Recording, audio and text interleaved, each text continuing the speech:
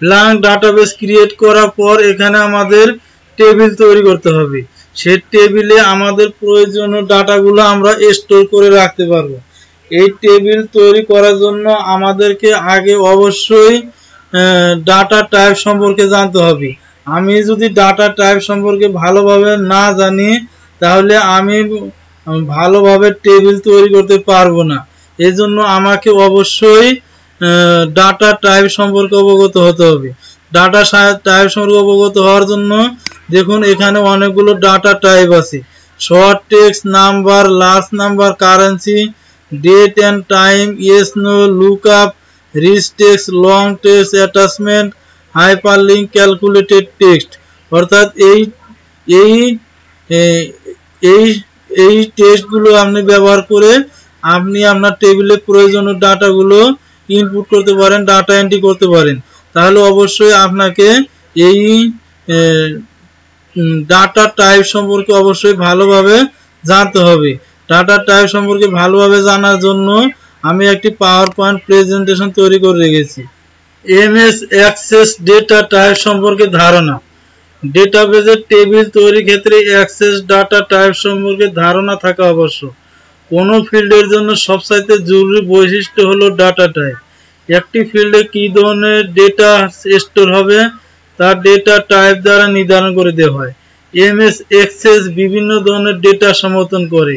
কোন ফিল্ডে ইউজার কি ধরনের ডেটা ইনপুট বা সংরক্ষণ করতে পারবে, তা এক্সেস ডেটা টাইপ দ্বারা নির্ধারণ করা হয়। প্রতিটি প্রতিটি ফিল্ড শুধুমাত্র এক ধরনের ডেটা টাইপ স্টোর করতে পারে। ডেটার ধরুন। যদি শর্ট টেক্সট সিলেক্ট করেন, তাহলে এটা বর্ণনা এখানে দিচ্ছে এটা সাইজ দেওয়া হচ্ছে। টেক্সট বা নম্বর তবে ওই সমস্ত নাম্বার যা ক্যালকুলেশনের কাজে ব্যবহার করা হয় না। যেমন মোবাইল নাম্বার স্টোর করার ক্ষেত্রে ব্যবহৃত হয়। শূন্য থেকে দুইশো পঞ্চান্ন পর্যন্ত ক্যারেক্টার পর্যন্ত শর্ট যদি কোনো কিছু লেখেন, যদি টেবিলে স্টোর করেন, তাহলে আপনাকে শর্ট টেক্সট সিলেক্ট করতে হবে।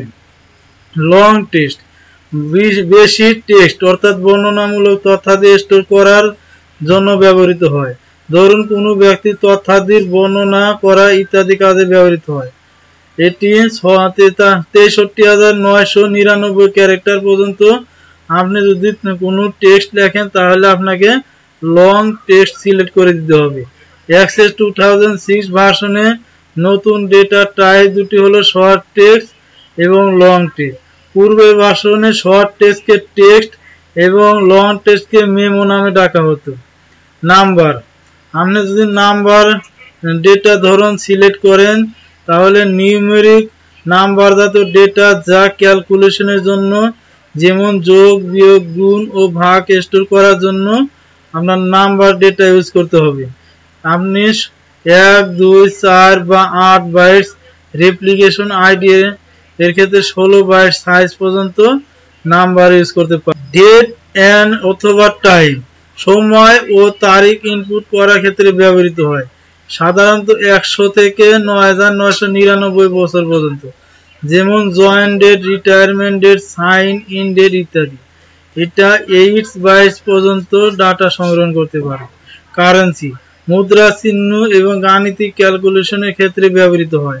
এক থেকে চার ডেসিমেল পর্যন্ত দশমিক ব্যবহার করা যায়। যেমন basic house rent gross pay net pay ইত্যাদি। এটা এইট বাইশ পর্যন্ত সাইজ হয়ে থাকে। অটো নাম্বার স্বয়ংক্রিয়ভাবে এক, দুই, তিন, চার, পাঁচ ক্রমিক নং, অর্থাৎ রো নাম্বার যুক্ত করার জন্য। এ ফিল্ডে কোনো ডেটা ইনপুট করতে হবে না এবং এই ডেটা পরিবর্তনযোগ্য নয়। চার বাইটস রেপ্লিকেশন আইডি এর ক্ষেত্রে ষোলো বাইটস পর্যন্ত সাইজ হয়ে থাকে। ইয়েস অথবা নো, দুটি ভ্যালু প্রদর্শন করানোর জন্য ব্যবহৃত হয়। যেমন ইয়েস অথবা নো ট্রু অথবা ফলস অথবা অন অথবা অফ ইত্যাদি। এটা সাইজ এক বাইট হয়ে থাকে। অ্যাটাচমেন্ট ফাইল যথা ডিজিটাল ছবি স্টোর করার জন্য অ্যাটাচমেন্ট ব্যবহৃত হয়। একটি রেকর্ডে একাধিক ফাইল যুক্ত করতে পারবেন। পূর্বের ভাষণে এর ডেটা টাইপটি ছিল না। এটা দুই গিগাবাইট পর্যন্ত সাইজ হয়ে থাকে।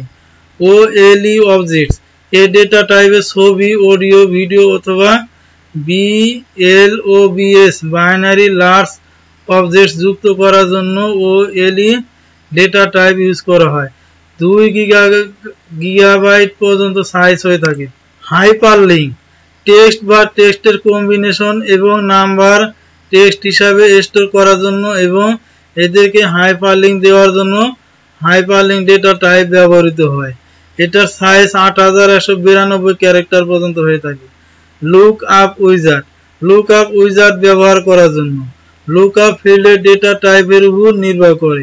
ক্যালকুলেটেড ডেটা টাইপ এক বা একাধিক ফিল্ডে এক্সপ্রেশন তৈরি করার জন্য ব্যবহৃত হয়। উপরে বর্ণিত এক্সেস ডেটা টাইপ সম্পর্কে অবগত থাকলে খুব সহজে ডেটা টাইপ ব্যবহার করে আপনার প্রয়োজন অনুযায়ী, আপনার প্রিফারেন্স অনুযায়ী খুব সুন্দর টেবিল ক্রিয়েট করতে পারেন। Thanks for watching this video ভিডিওটা যদি ভালো লাগে থাকে, তাহলে অবশ্যই লাইক কমেন্ট এবং শেয়ার ভিডিওটা আমার শেয়ার করবেন, এবং অবশ্যই পরবর্তী ভিডিও পাওয়ার জন্য আমার চ্যানেলটা সাবস্ক্রাইব করবেন।